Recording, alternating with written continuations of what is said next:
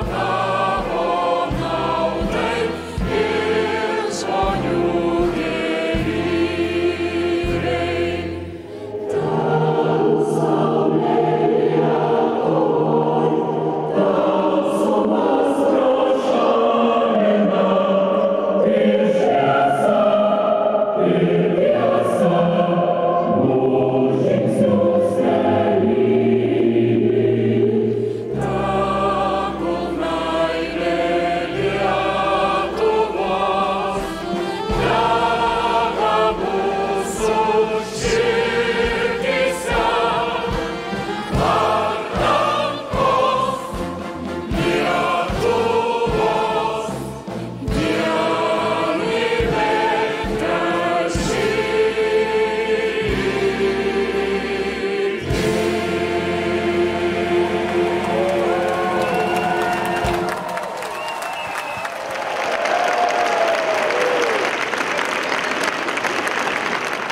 Nu didelė graži šventė. Man atrodo kad čia vienybės ir ir susikaupimo tokia šventė mums.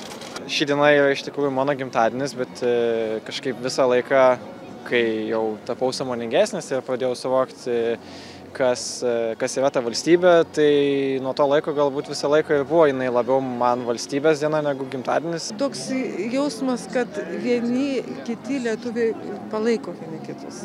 Per tą tau tą mūsų Istoriją. giesmę ir mes dainuojam ir mes susivienijam mes stipresni tampam Džiaugsmas. Toksai džiaugsmas kartais taip, labai net, didelis net džiaugsmas. virpuliukai eina Taip, kartais tokie. širpuliukai eina ir labai džiaugiamės, kad gyvenam būtent čia, Lietuvoje.